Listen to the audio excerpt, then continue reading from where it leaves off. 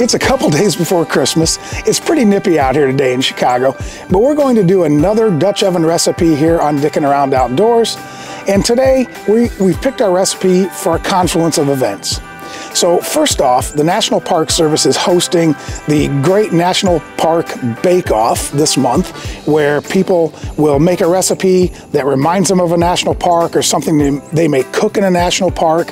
And then you put that up on your social media and tag the National Park Service Great Bake Off. Uh, so that got us thinking about this. And as we thought about what we might make that reminds us of a national park, we found out that Death Valley, at one point in time, had a large date orchard in it. So Death Valley was one of the parks that we went uh, through on our last trip last fall. And if you haven't seen that video, I'm going to post it up here. It's, it was a pretty cool place, really. Uh, so we decided, well, maybe we can do something from Death Valley that reminds us of Death Valley.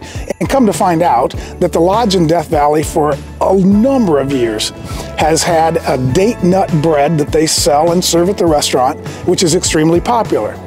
And go figure, and I'm not making this up, tomorrow is National Date Nut Bread Day. So we are going to whip up some date nut bread in our Lodge Dutch oven. So let's get after it. So this is really a two-step process today. First off, we have to warm up some water on our stove, cook down the dates for about five minutes, add some additional ingredients while it's still warm, and then let that cool down before we add our final ingredients and put it into our baking dish. While that's happening, we are also going to be warming up our Dutch oven. I want it to be preheated today because it's pretty chilly. Okay, we've got our water warmed up, so we're gonna go ahead and turn out the dates into the pot.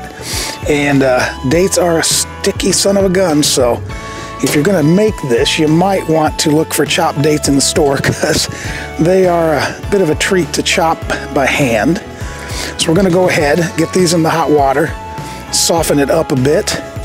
Gonna take about five minutes for that. So let's get the lid on this and set our timer. The dates have been going for five minutes, so we're gonna go ahead, turn the fire off, and we're going to stir in honey, also adding our walnuts, because it wouldn't be date nut bread without nuts, and we're gonna add butter. And once this is stirred up, we're gonna take it off the stove here, get the Dutch oven going, and let this cool down before we add the rest of the ingredients. Okay, I think our mixture has cooled down enough to add the rest of the ingredients, so we're gonna go ahead and do that. We have got one egg that we beat up, and in there we also added a teaspoon of vanilla, so that's going in. Give that a quick stir. And the last two ingredients, we have all-purpose flour and baking soda. So we're gonna go ahead and get that in here.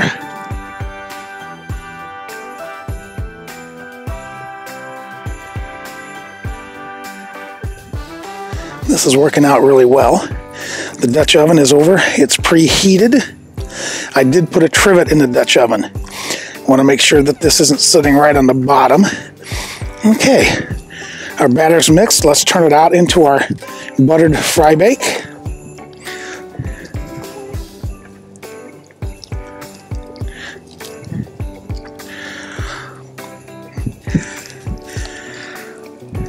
Oh, I think it might fit. I think we're good to go here. So we've got our batter in. Let's get this in the oven. The oven is set as best you can set a Dutch oven to be cooking right around 325 degrees.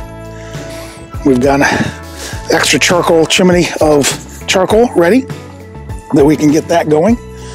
So let's set this in the oven. It'll bake for about an hour and 10 minutes. We'll check it in an hour, see if a toothpick comes out clean. But for right now, this is looking perfect.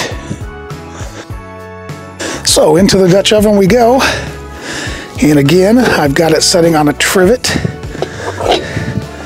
And this works really well to use a pan inside of the oven and to use the Dutch oven as an oven, so to speak. So there we go, an hour and a half, or sorry, an hour and 10 minutes. Get some more charcoal going. As this burns out, we'll replenish it and we'll be back and check the bread. The bread has been cooking for an hour and 10 minutes. I believe it is done, so let's see what it looks like. Oh, I don't think we could have asked for anything better. So now what we're gonna do is we're gonna take this out, we're gonna put it on a cooling rack and let it cool down a bit, and then we're gonna bust into this. Our date nut bread has cooled down, we hope, and we're gonna cut into it. Moment of truth here. Let's see how this looks. Oh my gosh, I don't think this could have come out better. Still got some nice steam. I'm not gonna put any butter on because there's so much in the recipe, but I do have that in the reserve. So let's see how this tastes. So this is really good. In fact, I don't know if I can honestly say I've ever had date nut bread before, but if you're a fan of banana bread or zucchini bread or anything like that, this is right up your alley. It's super tasty. It's got nice sweetness from those dates, the crunch from the walnuts, this is a super, super bread. So give it a try. I also hope you enjoyed seeing the Dutch oven being used as an oven and not as the actual cooking pot. They're extremely versatile, so I hope you enjoyed watching that. And as always, if you have subscribed, thank you very much. We appreciate it. If you haven't subscribed and you like the content, please take a moment to share it with your friends, hit the like button, and don't forget to hit the subscribe button in the lower right hand corner. And as always, Take care, and we'll see you outdoors.